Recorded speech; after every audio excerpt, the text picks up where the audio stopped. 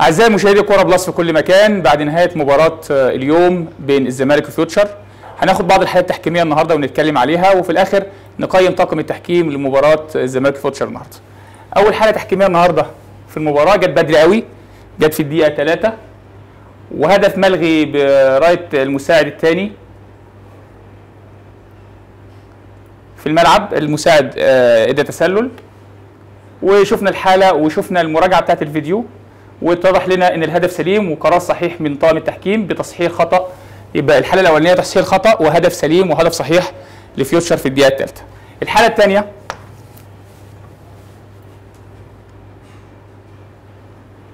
تدخل من لاعب فيوتشر بالمنظر ده. هنشوفه مع بعض. دي في الدقيقة 11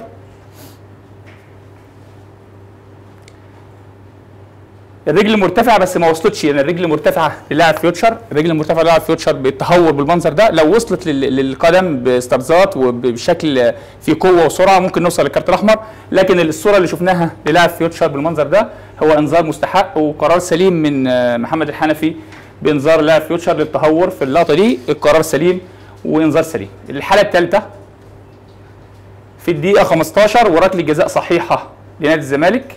المنظر ده طبعا الحنفي الميزة في في اللع- في اللعبة دي حاجة واحدة ال- الحنفي واخد آه، زاوية رؤية سليمة آه، شايف ان between الاثنين لعيبة وبالتالي خد القرار بدون انتظار لقرار الفار وركله جزاء صحيحة فيها مسك وركله جزاء صحيحة لنادي الزمالك وانذار مستحق للاعب رقم خمسة من فيوتشر. تمت المراجعة من حكم الفار وتم تأكيد confirm للقرار وقرار سليم. هنشوف التنفيذ مع بعض بعد بعد اللعبة.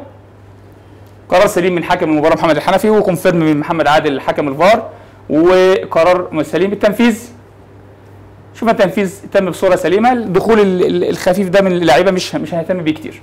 الحالة اللي بعد كده الحالة اللي بعد كده دي حاله المباراة أو الحالة الأهم في المباراة في الدقيقة 36 فوجئنا بحالة الحالة طبعا في الملعب الحكم آه، ما خدش قرار. تم استدعاء من حكم الفار. للحاله دي دي الحالة الأهم في المباراة ولازم آه، نتكلم فيها باستفاضة. الحكم الفار تم استدعاء آه، طبعا استدعاء الفار لازم استدعاء الفار بيبقى الحكم الفار رأيه آه، محمد عادل إن دي تستحق كارت أحمر. محمد الحنفي راح شافها بالمنظر ده ورجع خد قرار بإنذار. طيب نتكلم على الحالة. نتكلم على الحالة ونقول إيه ليه الاختلاف بين حكم الفار وحكم الملعب. حكم الملعب لما راح محمد الحنفي شاف اللعبة لقى إن آه، لاعب نادي الزمالك لعب الكرة اولا وبعد كده رجليه استمرت وعملت خطأ. استرزات السلاح موجود لرجل لاعب الزمالك ولكن آه، مفيش فيه قوة مفيش فيه سرعة موجودة وبالتالي ال- القرار سليم من محمد الحنفي بكارت أصفر ولا ترقى للكارت الأحمر واستدعاء يعني أنا شايفه أنا شايفه مبالغ فيه من من حكم الفار ومع ذلك آه، وصلنا للقرار الصحيح آه، ركله حره مباشرة وإنذار على لاعب الزمالك لدلاله تهور ده ما وصلش لمرحلة إن إحنا نوصل للكارت الأحمر فيها. الحالة اللي بعد كده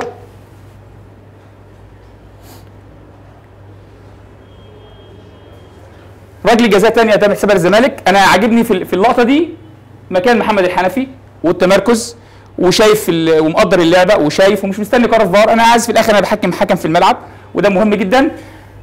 نشوف اللعبة وركله الجزاء. الإيد خارج الجسم. إيد لاعب فيوتشر خارج الجسم.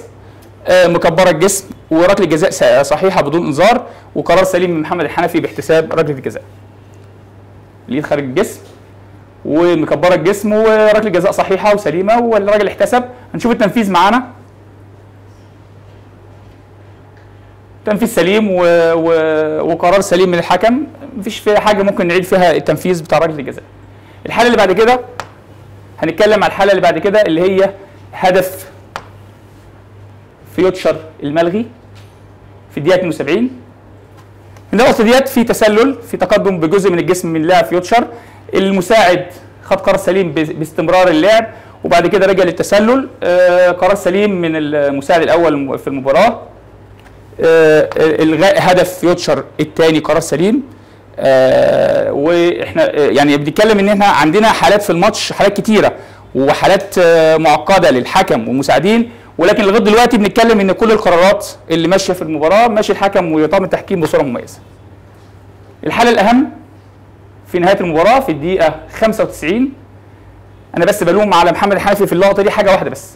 الكرة دي دخلت جون مش محتاج تصفر فيها. يعني أنا كحكم بصفر في حالة واحدة لو في خطأ. وبالتالي كل اللي في الملعب لما صفر محمد على على الهدف كل اللي في الملعب تستنى استنى بعد الصفارة دي في خطأ. لكن الهدف الس... الس... الس... يعني الهدف ما فيش فيه آه كرة دخلت ما دخلتش أو في حاجة ممكن نشك إن الكرة دخلت جوه ما دخلتش. وبالتالي أنا كحكم. بشاور إشارة عادية خالص وبطلع طبعا المساعد معايا هدف سليم. لكن لما صفر الصفارة دي كله شك إن في فاول شك في حاجة وبالتالي هتلاقي الفرقتين وقفوا بيستغربوا القصة لغاية ما هو أشار وكلمهم إن هدف.